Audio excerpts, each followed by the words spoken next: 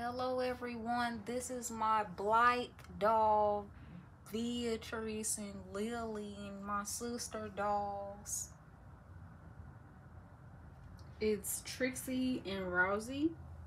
And they're in the pool enjoying their snacks and they're not in the pool sitting on the, the, the deck and they're enjoying their snacks and stuff and it's spring break. And they look cute in their outfits and their hair done nicely and makeup. And it feels nice outside and they're happy to be not in the house this is my Blythe doll. I like her purple, magenta purple hair with bangs. And I like her purple swimsuit and how she flexible. And her eyes could change. And her beads, her pull string beads. I made it like that because I picked out the beads I wanted. Mm -hmm. And then I can show how her... Her eyes yes. change. Very nice. She is a really cute doll. I'm really happy that you love this doll. I think the little swimsuit you put on her is really cute. And your setup also is awesome. You got the pool here.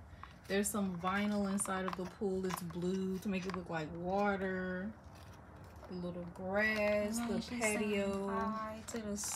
She's saying hi to the to everyone. everybody. It's really cute.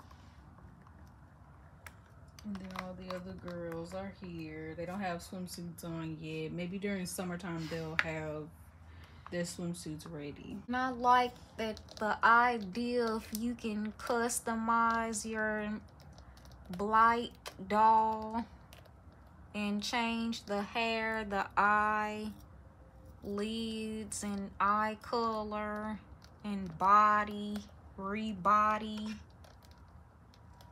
the Blythe doll and the beads, the pull strings. Mm -hmm. Is there any other like um customizations you would want to do to your doll? Like is Put there anything you want glitter, eyeshadow. Oh, that would be cute new eyelashes on another one okay. face. And yeah caught put other kind of clothes on her. Different days and holidays and stuff like that. Thank you all for watching this video I hope y'all enjoyed it. See y'all next time. Video. You can comment, like, share, and subscribe. And we will see you all in the very next one. Have a wonderful rest of your week and God bless.